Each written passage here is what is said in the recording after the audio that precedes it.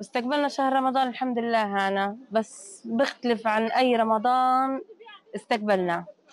يعني سيبنا بنتي غاد في غزة وهذه أكثر إنسان عزيز على قلبي نفسي أشوفها أحضنها أضمها. خواتي أغلبيتهم في غزة. يعني إيش بدي أقول لك؟ أكثر من هيك وضع مؤلم ما شفناش. يعني هذا رمضان آه كمان العيا عينا فيه وسقعنا فيه وبعدين إيش أقول لك؟ صفر بالمية من رمضانات الأيام اللي إحنا فيها. المعاناة في الخيام بنلاقيها من آه، لا صرف صحي لا أكل لا شرب واستقبلنا رمضان بأسوأ حال استقبلناه. من عشرات السنين. إحنا في أجواء رمضان هذا في قطاع غزة طبعا إحنا هاجرنا من الشجاعية لانصارات وبعدين من انصارات اخلينا للدير على أساس كلامهم إنه مناطق آمنة وهو ما في مناطق آمنة. فقعدنا هنا في خيام. الوضع بين الله صعب جدا. آه كنا ماشيين حالنا في الإفطار كيف ما كان.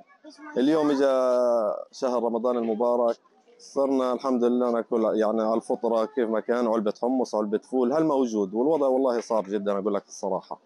استقبلنا رمضان بالحزن لأن أنا سايب جيراني وسايب أهلي وسايب حبايبي ومشردين هنا أنا من معسكر الشاطئ.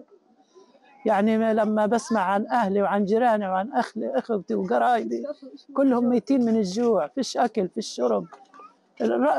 رغم المأساة اللي إحنا فيها كمان بنحكي مأساة غير